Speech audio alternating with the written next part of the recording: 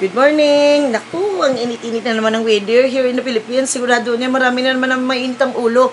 Kaya nga lip and right, lip and right ang mga krimen na naman dito eh. May init ang ulo kasi. Alam mo, napag-usapan namin kagabi. Ah, ugali kasi itong mga kaibigan ko, mga sira-ulo, mga friends ko, lalo yung mga bading na yan. Pag naiwan mo yung mga yung FB mo na nakabukas, nag-CR ka, kunwari pagbalik mo, ay naku, Diyos ko, hindi mo na alam kung ano yung status mo sa FB ako nga, yung best friend ko si Dennis Rakisa, ilang beses ako niyan, biniktima ako niyan.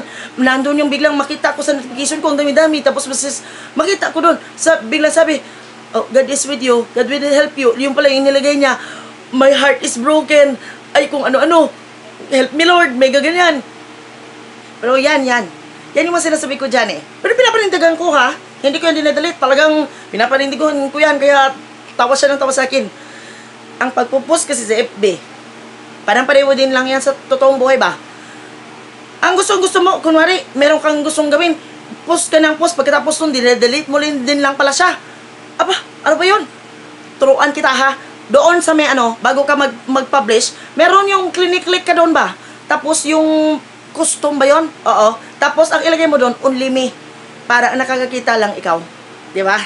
Pero, wag kang buang na parang hinatay ka ng hintayin ang notification na bakit parang walang nagla-like, wala bang may gusto ng post ko. Eh, inunlimi mo nga. Eh, di mag-like ka ng isa para meron, isa, ikaw, lilike mo sarili mo. Alam ko. Tapos, ang sinasabi ko nga, FB is like real life, okay? Do not post anything that later on, you know that you cannot own up to it. And that later on, you will just delete, okay? It's the same thing in life.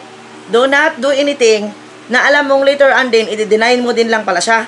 Gagawin mo yung mga bagay-bagay, pagkatapos nun, hindi mo pala siya kayang panindigan sa buong mundo. Pagkatapos nun, ikakahiya mo siya, tapos pag tinanong ka, no, I did not do that, I did not do that.